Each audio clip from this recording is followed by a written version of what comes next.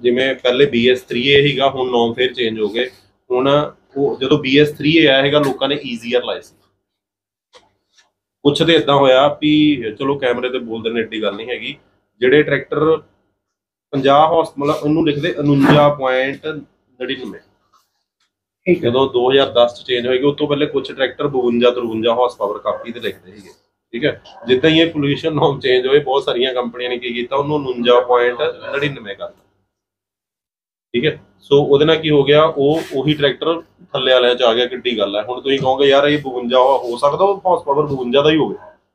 ਬੁੱਧਨੀ ਜਿੱਥੇ ਕਿ ਭੋਪਾਲ ਦੇ ਵਿੱਚ ਟਰੈਕਟਰ ਟੈਸਟ ਹੁੰਦੇ ਆ ਨਾ ਉੱਥੇ ਉਹ ਉਹ ਸਰਟੀਫਿਕੇਸ਼ਨ ਹੈ ਇੰਡੀਆ ਗਵਰਨਮੈਂਟ ਦੀ। ਸਾਰਾ ਕੁਝ ਉੱਥੇ ਟੈਸਟ ਹੋਣਾ ਟਰਾਂਸਮਿਸ਼ਨ ਹਾਈਡ੍ਰੋਲਿਕ ਇੰਜਨ ਪਾਵਰ ਉਹਦੇ ਨੋਮ ਹੈ ਕੋਈ ਵੀ ਟਰੈਕਟਰ ਦੇਖੋ ਤੁਸੀਂ ਅੱਜ ਬਣਾਉਂਦੇ ਹੋ ਬਰਾਬਰ ਨਹੀਂ ਹੋ ਸਕਦਾ।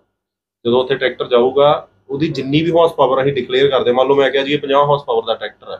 ਉਹਦੀ 10% ਵੱਧ ਵੀ ਹੋ ਸਕਦੀ ਹੈ ਤੇ 7% ਘੱਟ ਵੀ ਹੋ ਸਕਦੀ ਹੈ। ਇਹਦਾ ਮਤਲਬ ਇਹ ਹੈ ਜੇ ਤੁਸੀਂ 50 ਹਾਰਸ ਪਾਵਰ ਦਾ ਟਰੈਕਟਰ ਭੇਜਿਆ ਜੀ ਇਹ 50 ਦਾ ਟੈਸਟ ਕਰ ਦਿਓ ਤੇ ਉਹਦੀ 10% ਹੋਗੀ ਉਹ 55 ਵੀ ਉੱਥੇ ਦਿਖਾ ਦੇਗਾ ਤੇ ਉਹਨੂੰ ਕੋਈ ਪ੍ਰੋਬਲਮ ਨਹੀਂ। ਉਹ ਪਾਸ ਹੈ। ਉਹ 7% ਮਤਲਬ 50 ਦਾ 3.5 46 ਵੀ ਦਿਖਾ ਦੂੰਗਾ ਤਾਂ ਵੀ ਕੋਈ ਗੱਲ ਨਹੀਂ। ਕਿਉਂਕਿ ਕਲੀਅਰੈਂਸ ਦਾ ਫ਼ਰਕ ਹੁੰਦਾ ਨਾ ਹੁਣ ਰਿੰਗ ਦਾ ਜਾਂ ਪਿਸਟਨ ਦਾ ਜਾਂ ਸਲੀਪਾਂ ਦਾ ਥੋੜਾ ਬਹੁਤਾ ਕਲੀਅਰੈਂਸ ਹੋ ਗਿਆ ਉੱਥੇ ਪਾਵਰ ਲਾਸ ਹੋ ਜਾਣੇ ਜਾਂ ਕਈ ਵਾਰ ਟਰਾਂਸਮਿਸ਼ਨ ਦੇ ਆ ਜਾਂ ਹੋਰ ਹੈ ਨਾ। ਤੇ ਅਹ, ਇਸ ਕਰਕੇ ਕੀਤਾ ਭਾਵੇਂ ਹਾਰਸ ਪਾਵਰ 54 ਹੀ ਸੀ ਕਿਸੇ ਕੰਪਨੀ ਦੀ। ਉਹਨਾਂ ਨੇ ਕੀ ਕੀਤਾ? ਉਹਨੂੰ ਥੱਲੇ ਸੁੱਟ ਕੇ ਕਾਗਜ਼ਾਂ 'ਚ 99.99 49.99 ਕਰਤਾ ਉਹੀ ਟਰੈਕਟਰ ਉਹ ਛੋਟੇ ਜੀਵੀਦਾਰ ਛੋਟੇ ਨੂੰ ਵਾਸਤੇ ਹੈ- ਨਹੀਂ ਹੈ ਤਾਂ ਉਲਟਾ ਹੀ ਹੈ ਕੰਪਨੀਆਂ ਨੇ ਪੈਸੇ ਵਿਚਾਲੇ। ਫਿਰ ਜਿਹੜੇ 49 ਤੋਂ ਉੱਪਰ ਵਾਲੇ ਹੀਗੇ ਕਈ ਵਾਰ ਕੀ ਹੁੰਦਾ ਨਾ ਭਾਵੇਂ ਉਹਦੀ ਹਾਰਸ ਪਾਵਰ ਕਿੰਨੀ ਹੈ ਜਦੋਂ ਤੱਕ ਜੱਟ ਨੂੰ 55 ਦਿਖਦੀ ਨਹੀਂ ਹੈ ਨਾ ਤੇ ਉਹਨੂੰ ਲਿਖੀ ਚਾਹੀਦੀ ਹੈ। ਉਹੀ ਫ਼ਰਕ ਹੈਗਾ ਨਾ ਤੇ ਇਸ ਕਰਕੇ ਉਹਦੇ ਚ ਫਿਰ ਅ, ਜਦੋਂ ਤੁਸੀਂ 50 ਤੋਂ ਉੱਪਰ ਹੀ ਦਿਖਾਣੀ ਹੈ 60 ਦਿਖਾਣੀ 55 ਦਿਖਾਣੀ, ਹੈ ਨਾ? ਪਾ ਕਾਪੀ ਦੇ ਉੱਤੇ। ਹੁਣ ਜਿਹੜਾ ਮੈਂ ਤੁਹਾਨੂੰ ਕਿਹਾ ਵੀ ਮੰਨ ਲਓ ਇੱਕ ਟਰੈਕਟਰ ਹੈ 53 ਹਾਰਸ ਪਾਵਰ ਦਾ, ਉਹਨੂੰ 49.99 ਚ ਦਿਖਾਤਾ ਕਾਪੀ ਤੇ ਉਹਦੀ 49.99 ਹੀ ਰਹਿਣੀ ਹੈ। ਠੀਕ ਹੈ? ਪਰ ਉਹ ਜੇ ਬੁੱਧਨੀ ਚ ਜਾ ਕੇ 52 53 ਵੀ ਦਿਖਾ ਦਿਓ, ਫਿਰ ਵੀ ਪਾਸ ਹੈ। ਪਰ ਕਾਪੀ ਤੇ ਉਹੀ ਰਹਿਣੀ ਹੈ। ਹੁਣ ਬਹੁਤ ਬਹੁਤ ਸਾਰੇ ਲੋਕ ਕਹਿੰਦੇ ਆ, ਮੰਨਦੇ ਨਹੀਂ ਜਿਹਨੂੰ ਮੈਨੂੰ 55 ਚਾਹੀਦੀ ਜਾਂ 60 ਚਾਹੀਦੀ, ਫਿਰ ਉਹਦੇ ਵਾਸਤੇ ਜਦੋਂ BS3 ਆਏਗਾ 2010 ਚ, ਤੇ ਉਹਦੇ ਵਿੱਚ ਕੁਝ ਲੋਕਾਂ ਦੇ ਜਿਨ੍ਹਾਂ ਦੇ ਤੇ ਇੰਜਨ ਵੱਡੇ ਸੀ ਜਦੋਂ ਸੋਨਾਲੀਕਾ ਦਾ 4000 ਸੀਸੀ ਦਾ ਹੀਗਾ ਤੇ ਉਹਨਾਂ ਨੂੰ ਟਰਬੋ ਦੀ ਜ਼ਰੂਰਤ ਨਹੀਂ ਪਈ। ਉਹਦੇ ਵਿੱਚ ਉਹਨਾਂ ਨੇ ਈਜ਼ੀਅਰ ਲਾਤਾ ਸੀ। ਐਗਜ਼ੌਸਟ ਗੈਸ ਰੀਸਰਕੂਲੇਸ਼ਨ ਉਹ ਸਲੈਂਸਰ ਤੋਂ ਇਦਾਂ ਇੱਕ ਪਾਈਪ ਲੱਗੀ ਹੁੰਦੀ ਹੈ।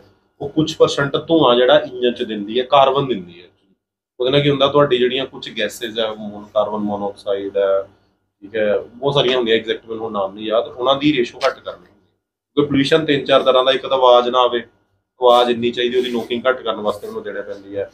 ਇਹਦੇ ਚ ਕਾਰਬਨ ਮੋਨੋਆਕਸਾਈਡ ਇੰਨੀ ਹੋਵੇ, ਕਾਰਬਨ ਇੰਨੀ ਹੋਵੇ, ਉਹ, ਉਹ- ਉਹ 8-10 ਪੈਰਾਮੀਟਰ ਆ ਜਿਹਦੇ ਤੇ ਇਹਦੇ ਸਰਟੀਫਿਕੇਸ਼ਨ ਹੁੰਦੀ ਹੈ। ਫਿਰ ਹੁਣ ਆ ਗਿਆ ਤੁਹਾਡਾ ਸੀਆਰਟੀ ਹੁਣ ਜਿਹੜੇ ਪਿਛਲੇ ਸਾਲ ਤੋਂ ਲਾਗੂ ਹੋ ਗਏ ਆ, ਠੀਕ ਹੈ, ਉਹਦੇ ਚ ਤੁਸੀਂ ਸੀਆਰਟੀ ਨਹੀਂ ਕਰਦੇ ਤੇ ਉਹ ਵਾਲਾ ਮਾਮਲਾ ਆ ਹੀ ਨਹੀਂ ਸਕਦਾ। ਇਹ ਸੀਆਰਡੀ ਤੇ ਮਤਲਬ ਕਿ 60 ਐਚਪੀ ਤੋਂ ਉੱਤੇ ਨਹੀਂ 50 ਤੋਂ ਉੱਪਰ। 50 ਤੋਂ ਉੱਪਰ ਕਰ 49.99 ਤੋਂ ਉੱਪਰ ਜਿਹੜੇ ਵੀ ਹੈ ਅੱਛਾ ਉਹ ਉਹ ਉਹਦੇ ਚ ਸੀਆਰਟੀ ਠੀਕ ਠੀਕ ਹੈ ਪਹਿਲੇ ਕੀ ਹੈਗਾ ਟਰਬੋ ਲਾ ਕੇ ਸਰ ਜਾਂਦਾ ਹੈਗਾ ਜਾਂ ਤਾਂ ਤੁਹਾਡੇ ਇੰਜਨ ਵੀ 4000 ਸੀਸੀ ਦਾ ਹੈਗਾ ਤਾਂ ਵੀ ਗੱਲ ਬਣ ਜਾਂਦੀ ਉਹ ਚ ਈਜ਼ੀਆਰ ਵਾਲੀ ਪਾਈਪ ਲਾਤੀ ਚਲੋ ਬਾਅਦ ਵਿੱਚ ਲੋਕ ਉਹਨੂੰ ਬੰਦ ਕਰ ਦਿੰਦੇ। ਈਜ਼ੀਆਰ ਨੂੰ ਤੁਸੀਂ ਬੰਦ ਕਰ ਦੋਗੇ ਤਾਂ ਤੁਹਾਡੀ। ਉਲਟੀ ਪਾਵਰ ਵੱਧਦੀ ਹੈ। ਸੋਨਾਲੀਕਾ ਜਾਂ ਪ੍ਰੀਤ ਜਾਂ ਫਾਰਮ ਟਰੈਕ ਨੇ ਤਾਂ ਇਹ ਕੰਮ ਕੀਤਾ। ਨਹੀਂ ਫਾਰਮ ਟਰੈਕ ਨੇ ਵੀ ਟਰਬੋ ਲਾਇਆ ਸੀ ਕਿਹੜੇ ਚ?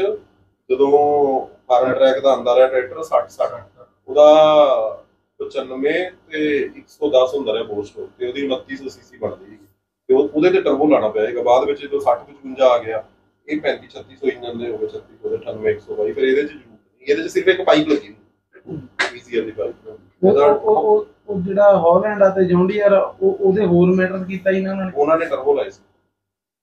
ਟਰੈਕਟਰ ਕੋਈ ਵੀ ਹੈ। ਜਿਹਦੇ ਵਿੱਚ ਮੰਨ ਲਓ ਇੱਕ ਸਿਲੰਡਰ 'ਚ ਦੋ ਵਾਲ ਹੈ। ਇੱਕ ਐਗਜ਼ੌਸਟ ਹੈ ਇੱਕ ਇਨਲੈਟ ਹੈ ਹੈਨਾ? ਉਹਨੂੰ ਕੇਮ ਦਾ ਤਾਂ ਪ੍ਰੋਫਾਈਲ ਇਦਾਂ ਹੁੰਦਾ ਜਿੱਦਾਂ ਤਿੰਨ ਸਿਲੰਡਰ ਹੁੰਦਾ ਤਾਂ ਇੱਕ ਤਿੰਨ ਦੋ ਹੁੰਦਾ ਪਹਿਲੇ ਇੱਥੇ ਅੱਗ ਬਲੂਗੀ ਫਿਰ ਇੱਥੇ ਬਲੂਗੀ ਫਿਰ ਵਿੱਚ ਆਏਗੀ। ਕੁਝ ਟਰੈਕਟਰ ਹੁੰਦੇ ਉਹਦਾ 1 4 3 2 ਹੁੰਦਾ 1432 ਪਹਿਲੇ ਇੱਧਰ ਪਹਿਲੇ ਇੱਧਰ ਪਹਿਲੇ ਇੱਧਰ। ਉਹ ਨਹੀਂ ਆ ਉਹ ਪਤਾ ਫ਼ਰਕ ਕਿਹਦਾ ਤੁਸੀਂ ਕਹਿ ਰਹੇ ਹੋ? ਦੋ ਇਕੱਠੇ ਨਹੀਂ ਖੁੱਲਦੇ ਹੁੰਦੇ।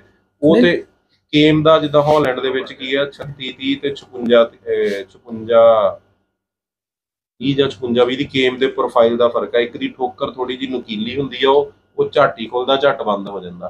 ਹੈਨਾ ਇੱਕ ਦੀ ਠੋਕਰ ਥੋੜੀ ਜਿਹੀ ਇਦਾਂ ਚੌੜੀ ਹੁੰਦੀ ਉਹ ਕਿ ਉਹ ਥੋੜਾ ਜਿਹਾ ਲੰਬਾ ਟਾਈਮ ਖੋਲ ਦਿੰਦਾ ਉਹਦੇ ਨਾਲ ਤੁਹਾਡੇ ਅੰਦਰ ਹਵਾ ਜ਼ਿਆਦਾ ਚੱਲ ਜਾਂਦੀ ਜਿਹੜਾ ਹਾਲੈਂਡ ਦੇ ਵਿੱਚ ਅੱਜ ਕੱਲ ਲੋਕ ਮੋਡੀਫਿਕੇਸ਼ਨ ਚ ਕਰਦੇ ਆ।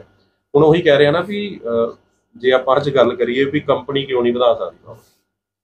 ਹੂੰ। ਵਧਾ ਸਕਦੇ ਹੋ ਨਾ? ਯਾਰ ਦੇਖੋ ਜਿਹੜੀ ਚੀਜ਼ ਕੋਈ ਕੰਪਨੀ ਕਰਦੀ ਹੈ ਉਹ ਕੰਪਨੀ ਤੋਂ ਉੱਤੇ ਕੋਈ ਨਹੀਂ ਹੋ ਸਕਦਾ। ਕੰਪਨੀਆਂ ਦੇ ਵਿੱਚ ਪੜ੍ਹੇ ਲਿਖੇ ਵੀ ਆ ਜਗਾੜੂ ਵੀ ਸਾਡੇ ਵਰਗੇ ਲੋਕ ਹੈਗੇ ਆ ਹਨਾ। ਐਡੀ ਗੱਲ ਨਹੀਂ ਹੁੰਦੀ ਪਰ ਕੰਪਨੀਆਂ ਦੇ ਹੱਥ ਬੰਨੇ ਹੁੰਦੇ। ਠੀਕ ਹੈ ਹੁਣ ਕੰਪਨੀ ਜਿਹੜਾ ਟਰੈਕਟਰ 50 ਹਾਰਸ ਪਾਵਰ ਬਣਾਉਂਦੀ ਆ ਤੁਸੀਂ ਪੈਸੇ ਕਿਉਂ ਨਹੀਂ ਸੋਚਦੇ? ਦੇਖੋ ਅੱਜ ਦੀ ਰੇਟ 'ਚ ਇੱਕ ਤੁਸੀਂ ਲੈ ਲਓ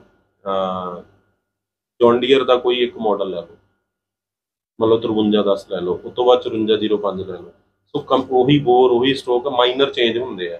ਹੁਣ ਕੰਪਨੀ ਨੂੰ ਤਾਂ 10000 ਰੁਪਇਆ ਵੀ ਨਹੀਂ ਲੱਗਦਾ ਨਾ।